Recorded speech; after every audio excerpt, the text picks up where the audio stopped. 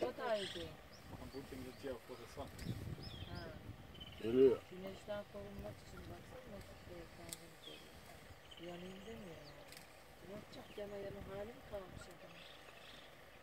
How old is he, Mark? Mark? He's, I would say, about 30, 40 years of age. Yeah?